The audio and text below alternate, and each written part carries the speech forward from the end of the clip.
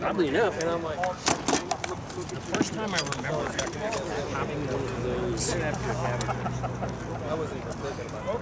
This is how good I can be. This But I, hopefully I was like, it a strand to the back. But I may have to get it. Oh yeah, well, I remember that fight. It was awesome. He walks up and he blows my head off, and he goes. "Oh!" And he goes, "Oh man, that felt good." He goes, "I'm sorry." I said, "That's okay." And I went, "Bam!" And I crushed him in the outside hip, and he crumpled down. And I went, "That? Oh, I'm sorry. That felt good too." it was like, "Okay, we're good. We know what's going on." That was the first time that I had that. This is what it's supposed to feel like. This is what